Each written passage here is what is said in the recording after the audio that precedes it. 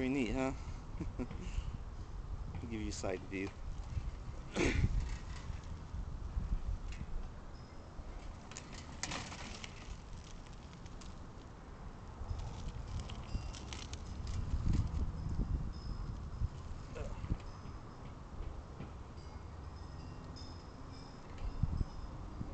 Just D-shift. See